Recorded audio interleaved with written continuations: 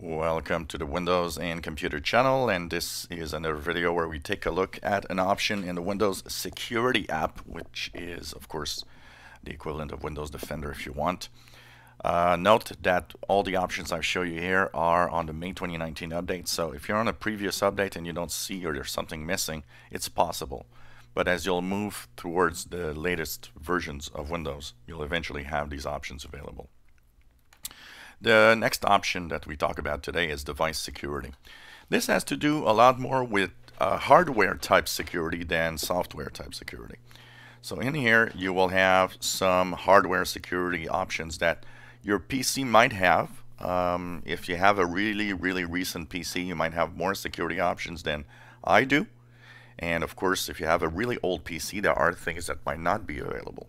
So it depends on really the hardware you use, uh, either on the computer itself or external hardware that you can plug in USB devices that typically can uh, make your PC more secure. One of the options here, core isolation. What is core isolation? Well, this is typical of very, very specific apps and hardware requirements within the computer. In my computer, this cannot be enabled, but in some PCs, you can actually isolate core process. That means that these features are running kind of in a virtualized environment that separate them from the main PC. So when you run in core isolation a process, it technically cannot be altered or infected by um, anything that is outboard or outside of that isolation. It's kind of building a really strong security wall around the application that's running. And of course, you can turn on memory integrity. That also kind of virtualizes the content and it makes sure that nothing can modify or access the um, you know code that's already written in RAM memory, for example. It's very specific to computers that can do it. Um, typically, this is a feature that can be run on more recent devices. It's not all devices and not all the CPUs are able to actually give you core isolation, but it's really for very important applications. I get people asking me from time to time, should I run core isolation to stay safe? It's not recommended because most of what you have will either not run in core isolation, or if they do, it restrains so much the access to the app or the program that often it will simply not work well. This is really for very specific features that demand very high security. Then you have Secure Boot. Secure Boot is a norm that was actually kind of uh, done by PC manufacturers many years ago. Secure Boot is on on this machine. And what is Secure Boot? It's simply that when the PC starts, and it wants to get an operating system. What happens is the operating system needs to be signed or needs to be uh, built in a way that it is actually going to prove that it's a software that is okay to run on your PC.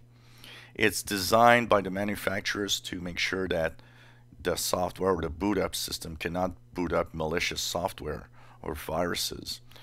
Now, there's a lot of controversy with Secure Boot because it often prevents many um, boot up processes from like Linux, for example.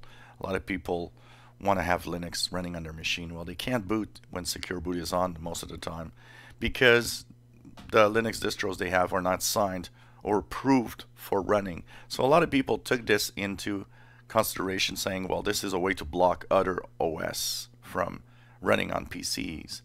Now, the thing is, secure boot can be turned off on a PC.